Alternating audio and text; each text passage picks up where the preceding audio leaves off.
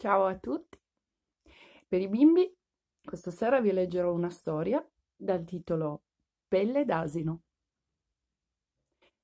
C'era una volta una regina che, sentendosi prossima a morire, fece venire presso di sé il marito e gli fece giurare che se con l'andar del tempo avesse contratto altre nozze, la sua scelta sarebbe caduta soltanto su una principessa più bella e più buona di lei poi morì.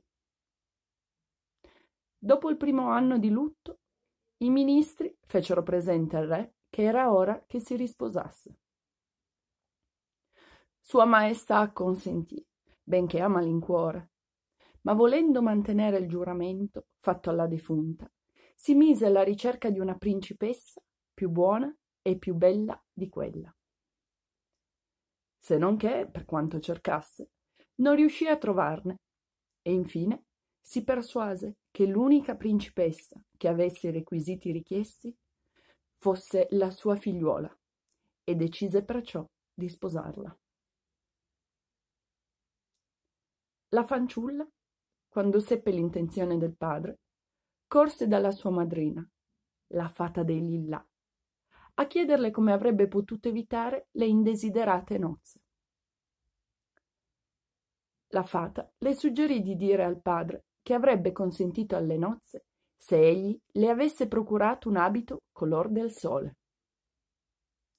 La fanciulla espose re il suo desiderio, ma con gran dolore si vide portare, dopo ventiquattr'ore, l'abito richiesto.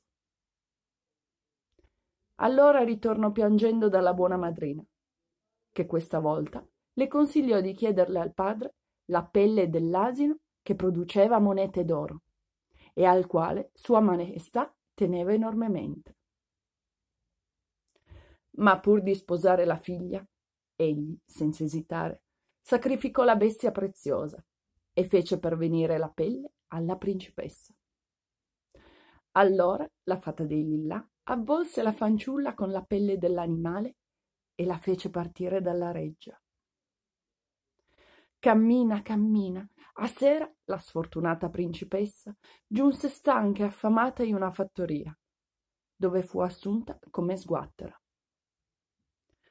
Doveva compiere le fatiche più dure e più umili, e per cibo doveva accontentarsi degli avanzi che le venivano dati. Ma la fanciulla sopportava tutto in silenzio, senza mai lamentarsi.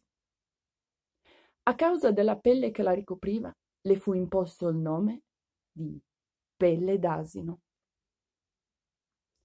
Appena la povera sguattera aveva un momento libero, si rinchiudeva nella sua stanza e si levava l'orribile pelle, sotto la quale splendeva l'abito color del sole. Un giorno, mentre appunto aveva indosso il meraviglioso abito, il figlio del re, che passava per caso lì davanti, guardò nella stanza attraverso il buco della serratura e per poco non svenne, colpito dalla meravigliosa bellezza della fanciulla.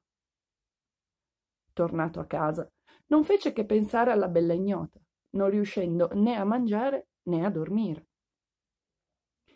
I genitori, vedendolo deperire ogni giorno di più, lo credettero ammalato e fecero chiamare tutti i più bravi medici del mondo. Ma nessuno di essi riuscì a capire la misteriosa malattia. Infine, un giorno, cedendo alle lacrime della regina, che lo scongiurava di chiederle qualunque cosa, purché ritornasse come prima, il principe disse che avrebbe mangiato volentieri una torta confezionata dalla sguattera della fattoria. L'ordine fu trasmesso subito a Pelle d'Asino, che senza indugio preparò la torta per il figlio del re, ma inavvertitamente vi lasciò cadere il suo anellino. Mangiando il dolce, il principe lo trovò e allora dichiarò che avrebbe sposato soltanto quella fanciulla a cui l'anellino fosse andato bene. Tutte le fanciulle del regno furono fatte sfilare dinanzi al principe, ma l'anello non entrava a nessuna. Ultima comparve dinanzi al giovane pelle d'asino e con gran meraviglia dei presenti l'anello le entrò subito nel dito.